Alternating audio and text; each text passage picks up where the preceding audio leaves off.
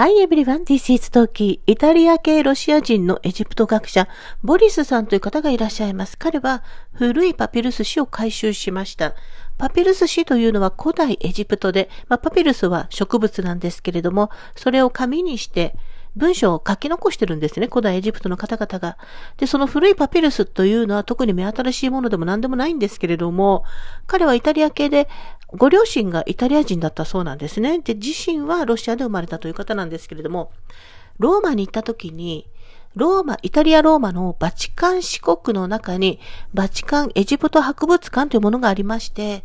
そこにお亡くなりになったトゥーリ館長という館長がいらっしゃるんですね。そのトゥーリ館長が残した遺品から、このエジプトの古代パピルス文書をボリスさんが拾い上げたんです。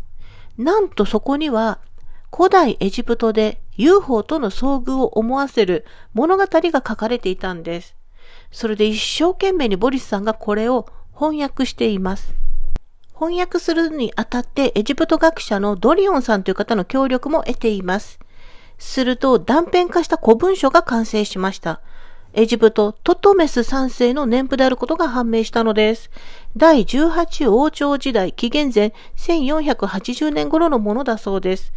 そしてその話はかなりのものでした。それによりますと、エジプトの軍隊を含む多くの目撃者が非常に奇妙で壮大な一連の出来事を目撃しているんです。パピルスに書かれてあったものは22年冬の第3の月6時のことである。命の家の立法学者は火の輪に気づいた。空から降ってきた。口からは汚い息を吐いていた。それには頭がありませんでした。その体は長さ一竿、幅一竿でありました。声もありません。これによって立法学者の心は乱れ、彼らは腹ばいになって、そして彼らはそのことをファラオに報告しました。陛下は命の家にある巻物を調べるように命じられました。陛下は今起きているこれらすべての出来事について瞑想されました。さて、何日かが過ぎると、これらのものは空でますます多くなった。その輝きは太陽のそれを超え、天の四つの角の限界まで広がりました。この火の輪が行き交う位置は空高く広い範囲にありました。ファラオの軍隊はその中にファラオを入れて見ていました。それは夕食の後であった。そしてこの火の輪はさらに空高く登り、南の方角へ向かった。そして空から魚や鳥が降ってきた。彼らの国の建国以来、かつてなかった脅威である。そこでファラオは二つの国の神、アメンレの心を鎮めるために、香を焚きつけました。そしてこの出来事を後世に残すため、命ある家の巻物に記すように命じられました。これは古代エジプトに UFO が来た時のことなんでしょうか？とても気になる文章ですね。このパピルス自体は1933年にバチカンエジプト博物館の館長だったトゥーリさんがエジプト回廊を旅行した時に発見されたようなんです。そこにあった古い骨董品店の中で、まあ、偶然に見つけたと。とても高価で高い金額だったので、その場で購入することができないと考えたんですね。するとそのお店の人物がコピーを作っていると。そのコピーであれば安くで売ってあげるよと言われたので、それを持ち帰ってるんです。つまり、本物ではなくコピーなんですね。そしてボリスさんがトゥーリ館長の亡くなった後に遺品の中から、このまだ翻訳されておらず、未発表のこのパピルスを発見したというわけです。最初に読んだ時は、異世界の生き物の記述らしいと思って、すごく衝撃を受けたらしいんですね。そして翻訳されたものがさらに英語に翻訳されて、これがまあアメリカの昔の雑誌にちらほらちらほら載ることによってその存在が少しずつ知られるようになったらそうなんですけれども、まあこの場合は研究者でもあり作家でもあるサミュエル・ローゼンバーグという方の協力もあったそうです。ところが、ボリスさんが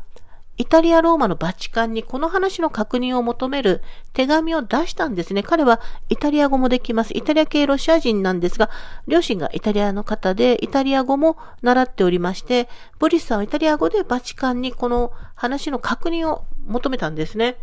ところがバチカンから不思議な返事が返ってきました。このトゥーリ館長はバチカン美術館の所有物だということでお亡くなりになってるが、このパピルスはバチカン美術館の所有物ではありませんと。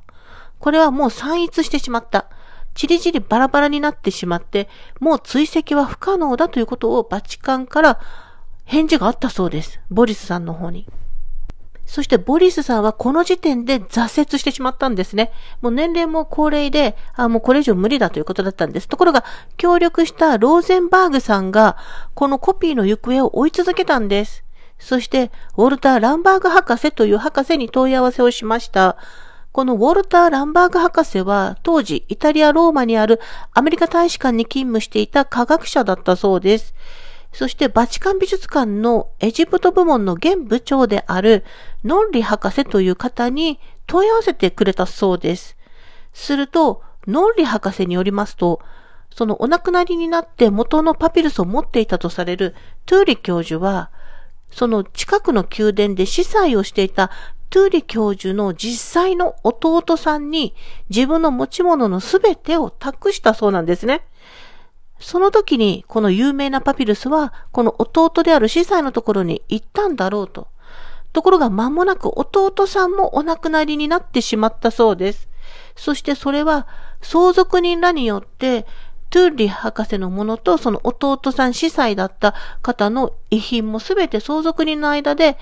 バラバラに受け継がれていて、このパピルス自体はもしかしたらもう価値がないと思われて、すでに処分されてしまったんではないかという答えだったそうです。残念なことに痕跡はここで終わっております。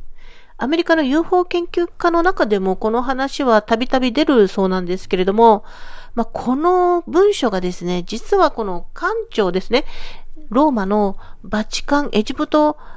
博物館の館長だったトゥーリさんが1933年にエジプトカイロを訪れた時に見つけたというものなんですけれども、実際の本当のパピルスはあまりにも値段が高くて手が出ずに、その骨董店のご主人がコピー書いたからこれなら安くで売ってあげるよっていうものを買ってローマに持ち帰ってるんですね。つまり、そのご主人がコピーした時に間違ってコピーした可能性も残されてるんですよね。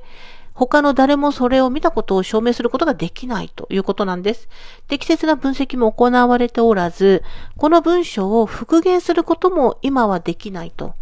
ですから、どれだけこの話が正当なものであるかは、UFO 研究家の間でも、まあ、判断が分かれております。